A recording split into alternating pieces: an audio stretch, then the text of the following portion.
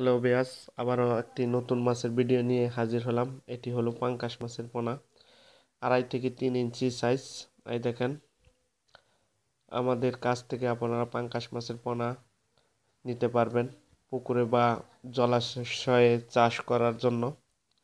এই দেখেন, পাঙ্কাশ মাছের পোনা, আড়াই ইঞ্চি, তিন ইঞ্চি।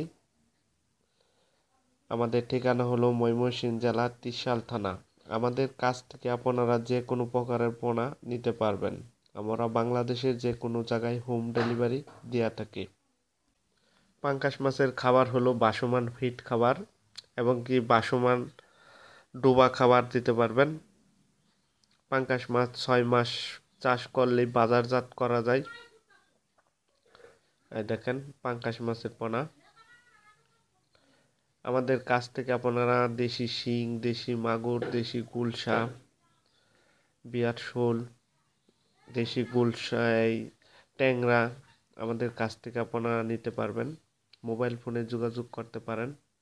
এই দেখেন, এটি হলো পাঙ্কাশ মাছের পোনা।